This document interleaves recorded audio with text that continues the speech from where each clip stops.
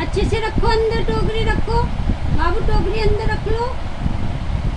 रखो जल्दी, चलो नीचे जाएँगे सोएँगे। ये रख लो, टोकरी रख लो बाबू। टोकरी अंदर रख लो। अंदर रख लो टोकरी। ये राजा बेटा है, रख लेता है।